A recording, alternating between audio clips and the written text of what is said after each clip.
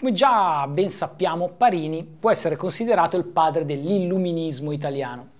Ecco quindi che, secondo l'autore, la poesia deve muoversi all'interno della ragione del verosimile. Siamo quindi molto distanti da ciò che accadeva nei secoli precedenti, in particolare negli autori che utilizzavano maggiormente la fantasia e il distacco dalla realtà. Inoltre per Parini la poesia è intesa come fatto individuale e sociale, nel senso che rivolgendosi ad un pubblico, deve sempre promuovere la crescita morale e civile della comunità in cui il poeta vive. Insomma, una poesia